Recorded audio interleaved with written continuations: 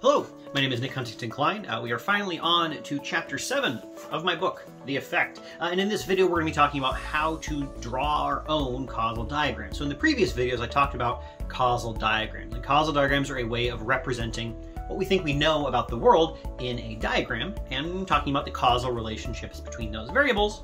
And when we do this, it's going to give us a, a little bit of a hands-on approach to figuring out what we think the data generating process looks like and in helping us figure out how to identify our causal effect of interest, which after all is what we are here to do.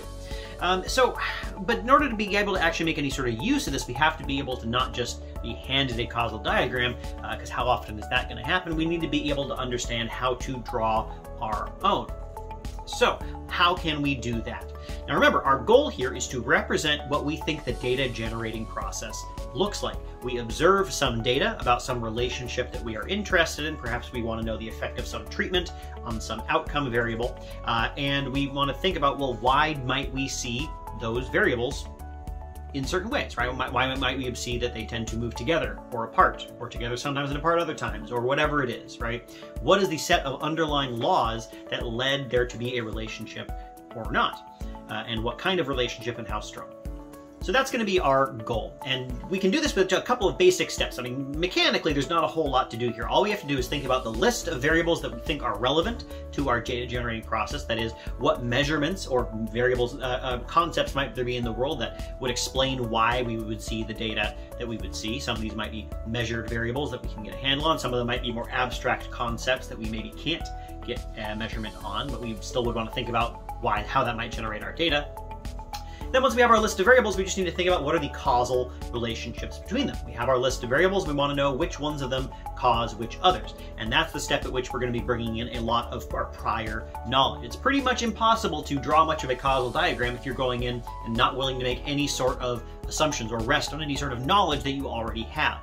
Uh, we're going to be relying on things that we have learned from prior research or just things that we happen to know about how the world works in order to draw out our causal diagram so that we can learn a little bit more. Remember, you can't really learn much more without making some assumptions about what you already know and are willing to stake your foot on. So, we're going to be listing our variables and we're going to be thinking about the arrows between them. Let's do an example. Let's walk through creating our own causal diagram. Uh, so I'm going to take an example from a study that uh, I worked on myself. Uh, and in this study, we were interested in the effect of taking online courses on your chances of staying in college. You know, if you are pushed into, if you if you go, if you attend an online course, does that maybe change uh, uh, how much you learned in the course, or maybe change your affiliation with the college, or something else that might make you more likely to stay in school as opposed to drop out.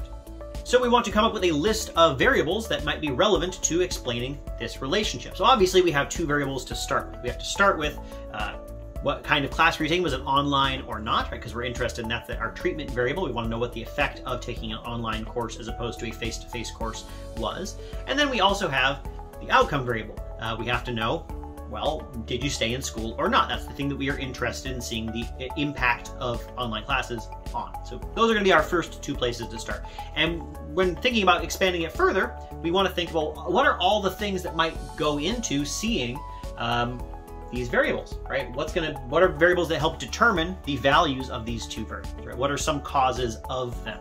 Those are the ones that we really want to focus on. Anything that is uh, that causes these two variables of interest are going to be really important to include. We might include some other stuff as well, um, but those are the ones that we really want to pay attention to. So let's think carefully about what some things are that are responsible for seeing the data that we see. What might drive someone to take an online course versus a face-to-face -face course? What might drive somebody to stay in school versus not?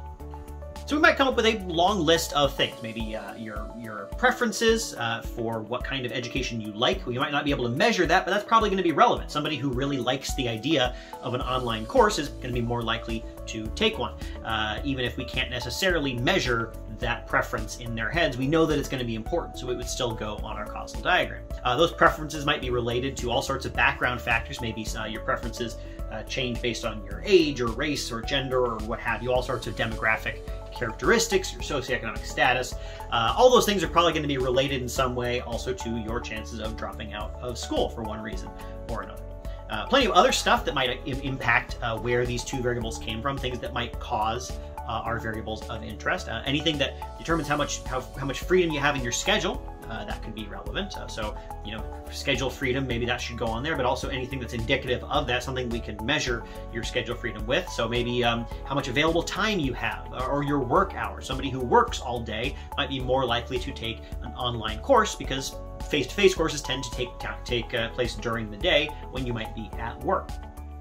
Uh, other things like do you have access to the internet? That might impact whether you take an online course uh, or not. Lots of other things, and you can probably keep imagining things that might go on this list, but it's a good exercise to walk through where you think these things might come from.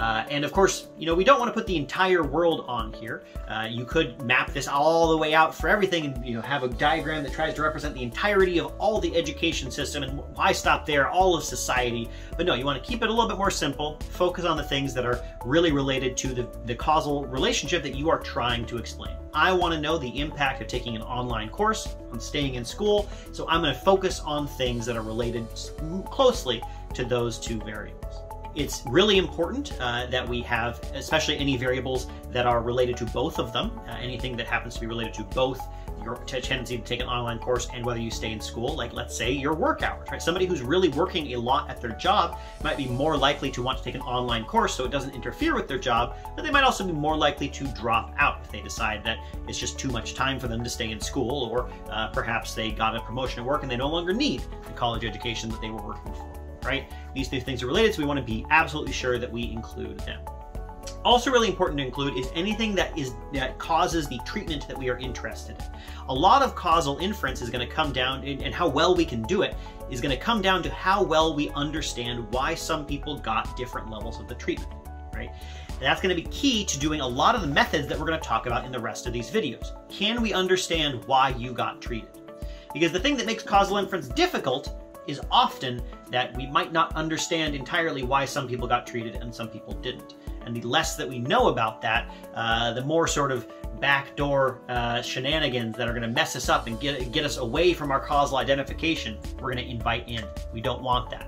So the more we understand about where treatment came from, what are the causal determinants of our treatment, the better a job we're going to do at identifying the effect that we want. So we want to be really sure that we have things that determine both the treatment and the outcome, and we really just in general really, really want to know about anything that is related to the treatment itself, because that's going to be really important. There's other stuff too, um, but that's what we want to really focus on. We also want to make sure that we're really including stuff that's important, right? You know, just because something could be potentially maybe weirdly relevant in some weird corner case doesn't necessarily mean that it needs to go on the diagram. In fact, you can get into a lot of trouble by just adding literally everything you can imagine.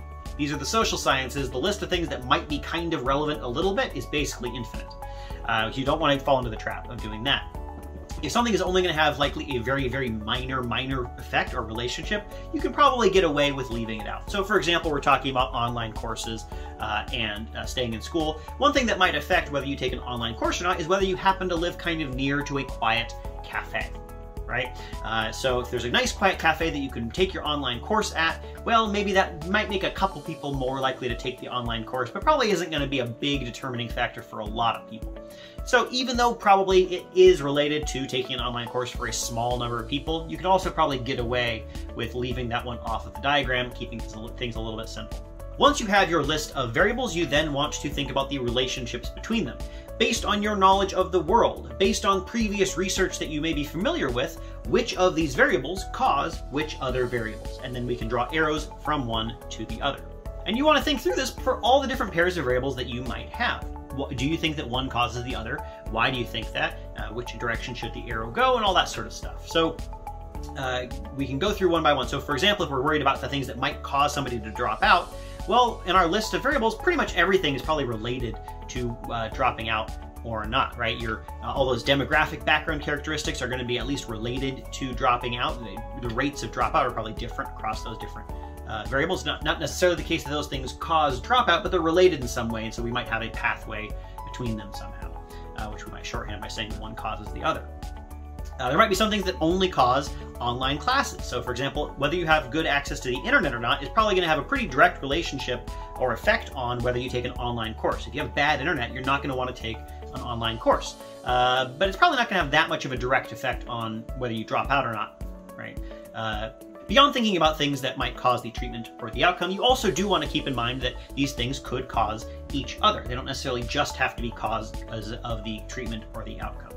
Uh, so, for example, uh, something like socioeconomic status, that is probably going to have a causal effect on your preferences, right? The way that you were raised, the, the economic background that you had probably shaped the preferences that you might have around taking an online course or not. Uh, and also, it probably uh, uh, is also causally uh, related to a bunch of other stuff, right? Your socioeconomic background is going to affect the kind of internet access that you have. If you grow up with a lot of money, then there's probably a good chance that you have a decent internet connection available to you.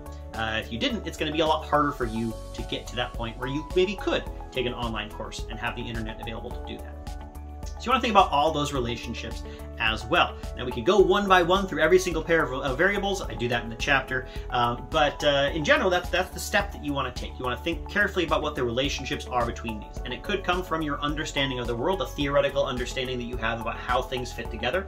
You know, the, the explanation that I just gave about how socioeconomic status probably causes internet access, that is a theory that I have about the world. Uh, I've just sort of had that theory on my own, but you could also almost certainly look for some research that would back that up. And probably if you're going to do the best job that you can of this, you're going to do that. You're going to find sources and evidence uh, and previous studies that show that a particular arrow from one variable to another is going to be there or not. And then you can build on that. We're always standing on the shoulders of giants here. So Going through all those steps, here is what we end up with, and it is an absolute mess. Uh, and this is common thing, especially when you're starting out uh, with drawing a causal diagram. You know, again, this is the social sciences, everything is related to everything else. So it's not a huge surprise that we have a long list of variables and a lot of arrows just sort of ping-ponging back and forth, as well as a number of unobserved things that I haven't even labeled, U1, U2, U3, U4, U5, that just explain variables being related to each other, even if neither necessarily causes the other. So for example, we have a U5 sitting, uh, sitting there and causing both socioeconomic status and location, uh, even though we wouldn't really say that your socioeconomic status causes your location, or we wouldn't say that your, your, location causes your socioeconomic status, at least maybe not strongly. We're not willing to make that case. We just say that they're related to each other, and so we have give them some sort of common cause. You could maybe draw it a little bit differently. Maybe you would say that socioeconomic status causes location, right? Thinking through what your theory is is going to impact how you would draw your causal diagram. Uh, and so that's why it's a really good idea to go on those prior sources for this for this stuff, um, which might help us all get a bit more on the same page if we're basing our arrows on evidence and not just sort of making them up. But regardless of that, we have a mess here. Uh, there's not going to be a whole lot that we're going to be able to do with that. And so uh, the next step after we've drawn our causal diagram is to try to think how can we simplify this into something that's going to actually be useful without simplifying it too far as to make it wrong. Uh, and that's what we're going to talk about in our next video. Thank you.